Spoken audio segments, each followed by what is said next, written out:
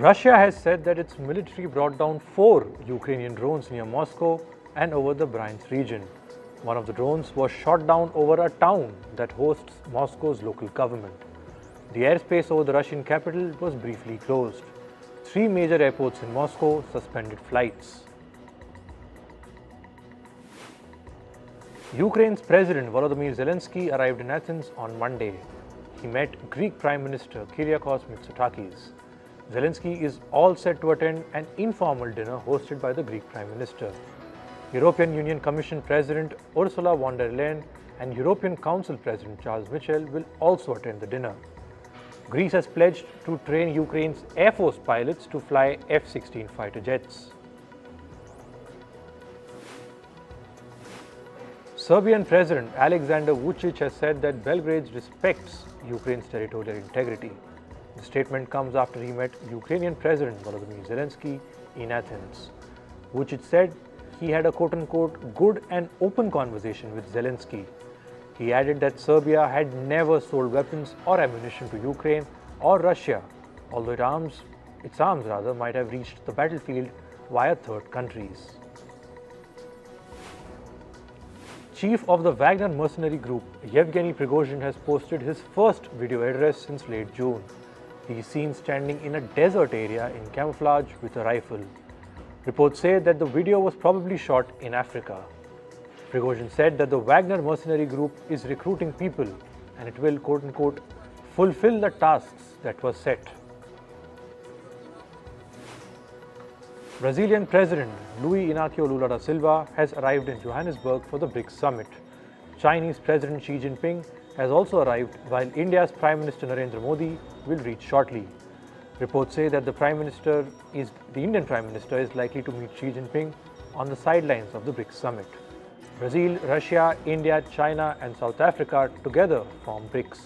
Over 40 countries have expressed their willingness to join the group.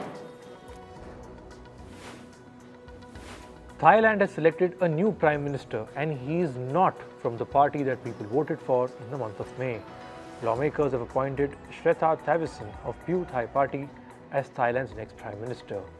This comes after Move Forward Party was blocked from forming a government despite a stunning victory in the elections.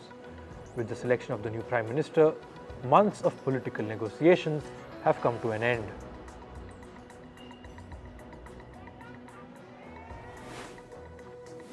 Former Thai Prime Minister Thaksin Shinawatra has been arrested and jailed. This is just as he returned to Thailand from self-imposed exile after 15 years. The former Prime Minister made his fortune in the telecommunications business. He has been charged with abuse of power and several other criminal offences which he calls politically motivated. Shinawatra came to power in 2001 and was ousted in a military coup in 2006. Former US President Donald Trump has said that he will surrender to authorities in Georgia on Thursday. This is to face charges in the case accusing him of trying to overturn his 2020 election loss. This will be Trump's fourth arrest since April this year. Trump is still a leading candidate for the Republican presidential nomination. Zimbabwe's main opposition party, the Citizens Coalition for Change or CCC, held its final rally on Monday. Voting will begin on Wednesday. The CCC is led by presidential candidate Nelson Chamisa. He is also a lawyer and a pastor. Zimbabwe's current president, Emmerson Mnangagwa, came to power in the year 2017. This was following a coup that ousted Robert Mugabe. An Israeli woman was killed in a suspected Palestinian shooting attack near the West Bank. Prime Minister Benjamin Netanyahu has said that Israel would settle the score with the attackers. Israel has also blamed Iran for the recent escalation of violence in the region.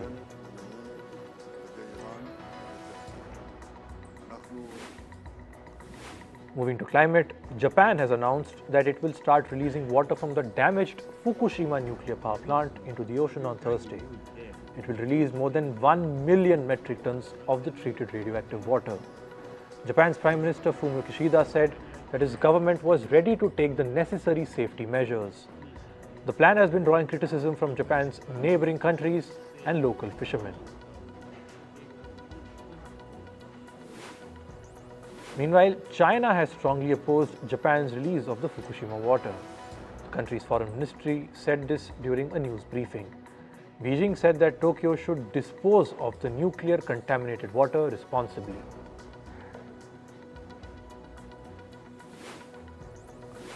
Tropical storm Hilary sent a deluge of rainfall to the American city of Las Vegas. This has triggered severe flooding in the region. A state of emergency has been declared in Clark County over the storm's impact on the city.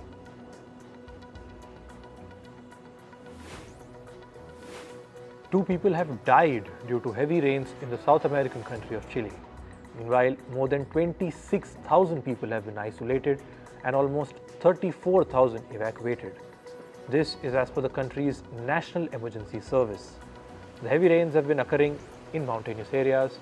Chilean authorities say that this has increased the risk of landslides and mudslides. France has issued a red alert for four of its southern departments. It comes amid excessively hot weather. This is the country's most serious warning. It will allow local authorities to call off events and close public facilities if needed.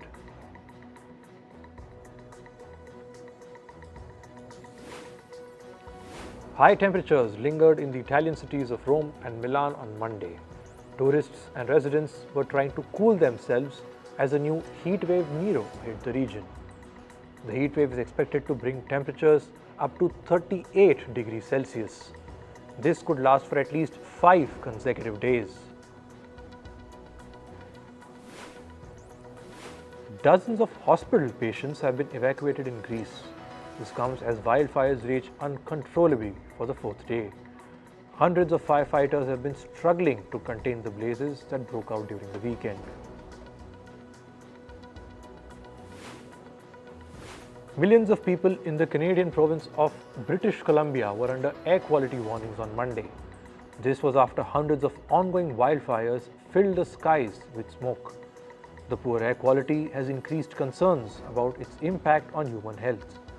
Climate change has exacerbated the number of wildfires in Canada. US President Joe Biden has arrived in the wildfire hit American city of Maui. Speaking to residents, Biden recounted his personal loss. Biden's visit to Maui comes nearly two weeks after wildfires swept through the Hawaiian island. The fires have killed more than 114 people in the region. North Korean leader Kim Jong un visited flood damaged areas in the country's port city of Nampo. He lashed out at top officials over the lack of preparedness and a poor response to flood damage. The area was flooded after an embankment was destroyed by seawater due to shoddy construction. This flooding comes amid mounting concerns over a food crisis in North Korea. Moving to business and tech, S&P Global has cut the credit ratings for several American banks. It has also revised its outlook for the firms. S&P says that funding risks and weak profitability will likely test the American banking sector's credit strength. Earlier this month, Moody's also cut the ratings of 10 American banks. Goldman Sachs is planning the sale of a part of its wealth business. With this, the company is shifting its focus back to serving ultra rich clients. Last year, Goldman CEO David Solomon reorganized the firm into three units. The firm also scaled back its consumer business.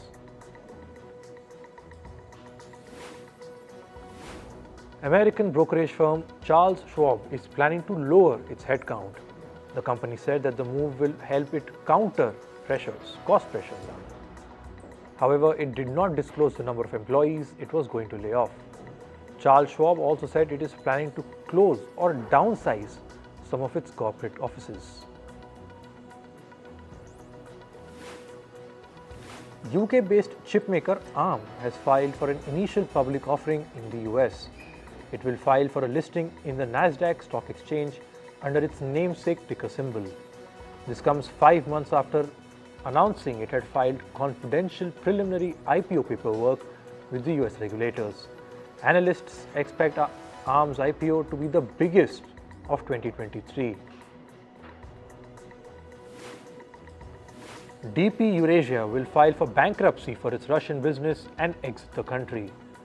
It is the operator of the Domino's pizza brand in Russia, Turkey, Azerbaijan, and Georgia. The move follows the company's failure to sell its Russian business in the country. Many Western firms have cut ties with Russia since its invasion of Ukraine and the introduction of economic sanctions. Roark Capital is nearing a deal to buy sandwich chain Subway for about $10 billion. This is according to reports. Roark is a private equity company that owns restaurants like the Buffalo Wild Wings. Reports said that a deal could be finalized as soon as this week.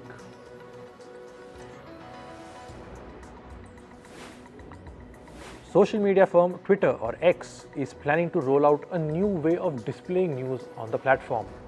It will now display news links without any headline or description. Owner Elon Musk says that the move will quote unquote greatly improve the aesthetics. Meanwhile, some reports say the update aims to reduce the height of a post. This is to fit more posts on one screen. Generative artificial intelligence will probably not take over most people's jobs. It will instead automate their duties freeing them up to do other tasks. This is as per a study conducted by the International Labour Organization or ILO. The study, however, warns that clerical work would likely be hit the hardest, and this will potentially hurt female employment. This is because the clerical sector is dominated by women. A US court has ruled against a copyright for art generated by artificial intelligence. The court added that art created by AI without any human input cannot be copyrighted under US law. Lately, the field of generative AI has raised concerns related to intellectual property issues. YouTube is launching an incubator to work with artists and musicians. The company is launching what is called YouTube's YouTube Music's AI Incubator. It aims to explore the use of artificial intelligence in music. YouTube has partnered up with Universal Music for this project. It will work with artists such as ABBA's Bjorn Ulvaeus, Ryan Tedder of One Republic, and the estate of Frank Sinatra. Moving to sports, in football, Spain's football chief Luis Rubiales has apologized for his actions at the FIFA Women's World Cup. Rubiales had kissed the Spanish player Jenni Hermoso during post-match celebrations. Hermoso spoke later about the incident and condemned it. Several government ministers and media commentators criticized Rubiales' gesture. The Spanish women's football team experienced a grand welcome after returning home. Thousands of fans gathered in Madrid to celebrate Spain's first Women's World Cup victory the Spanish squad defeated England 1 0 in the FIFA World Cup final on Sunday. Fans wrapped in Spain's national flag took to the streets to dance and chant slogans.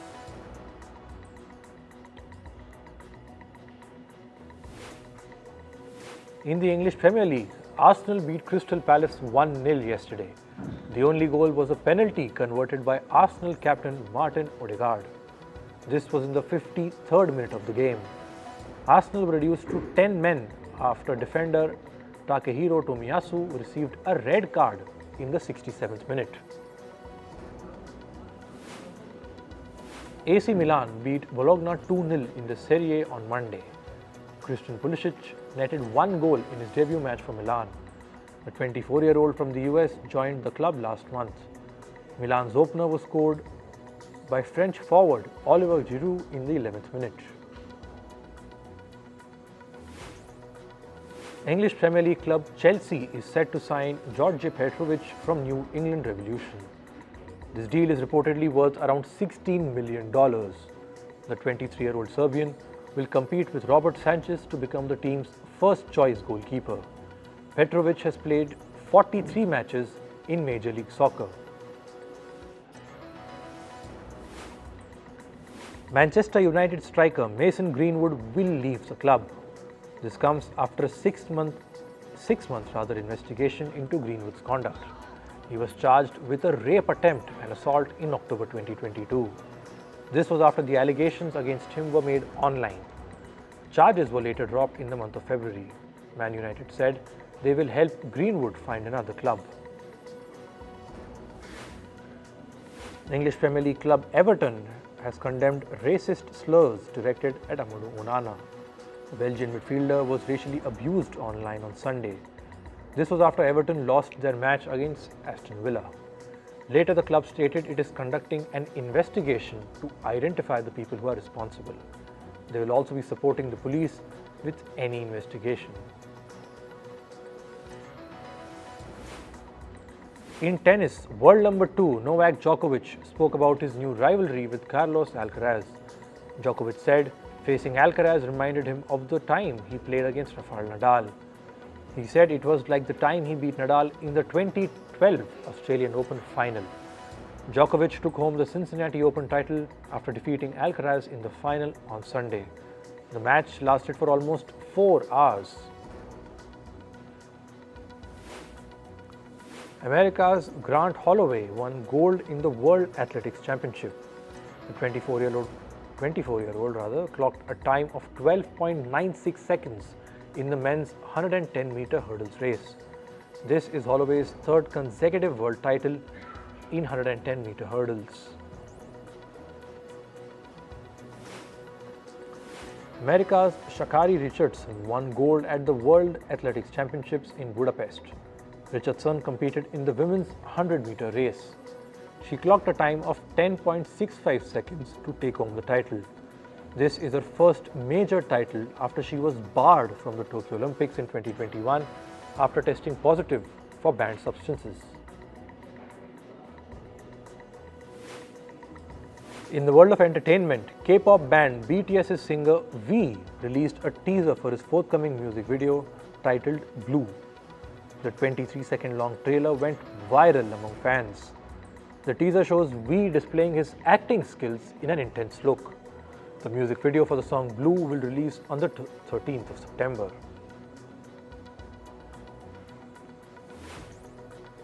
Rapper Snoop Dogg's outdoor concert in the American city of Houston did not go as planned. At least 16 people were hospitalized due to severe heat. This was after temperatures in Houston City reached 43 degrees Celsius. After the concert, Snoop Dogg took to social media to wish his fans a speedy recovery.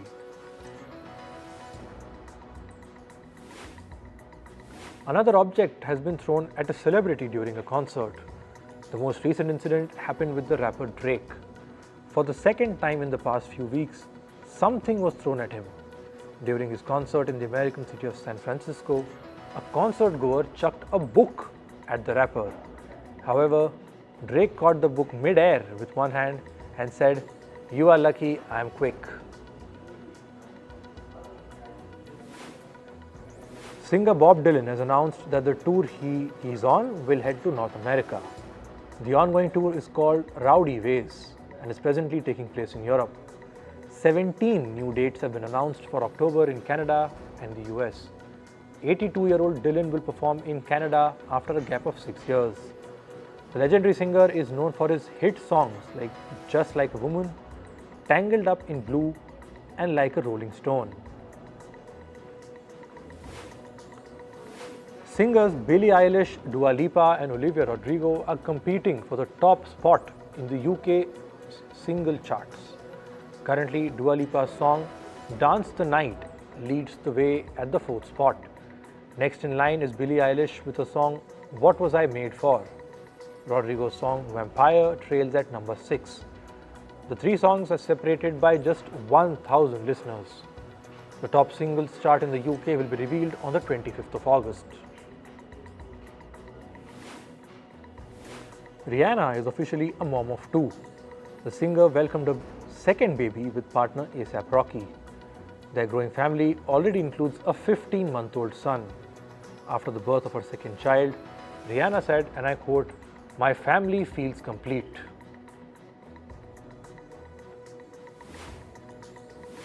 Actor Bradley Cooper has opened up about his struggle with drug and alcohol addiction. The 48 year old actor said substance abuse nearly killed him back in the year 2003. Cooper says it really traumatized him and forced him to consider sobriety. The actor says he has now been sober for 20 years. Oppenheimer star Cillian Murphy says he wished he had played a role in Christopher Nolan's blockbuster movie Interstellar. Murphy said, and I quote, I adore Interstellar because I find it very emotional. Murphy has been a regular in Nolan's movies, starting with Batman Begins in 2005. He has also featured in Inception, The Dark Knight Rises, and Dunkirk.